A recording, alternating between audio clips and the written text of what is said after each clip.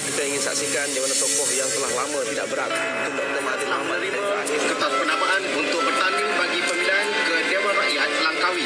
Dr. Mahathir bin Mohamad daripada keadilan. Ladies and gentlemen of the press, firstly, thank you for your presence. Baik, inilah dia detiknya para penonton sekalian. Ayo bersama kami kita cipta sejarah baru jam buat negara. 4.40 pagi 10 Mei 2018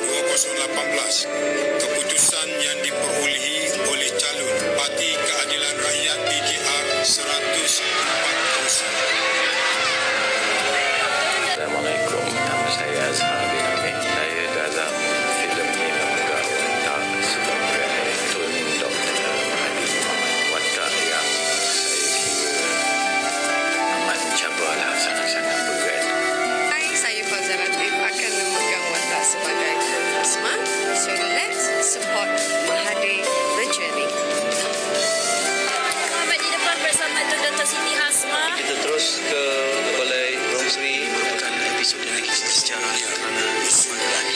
bahawa saya akan dengan jujur menunaikan kewajipan-kewajipan jawatan itu dengan segala daya upaya saya bahawa saya akan menumpahkan tahap yang sebenar kepada Malaysia.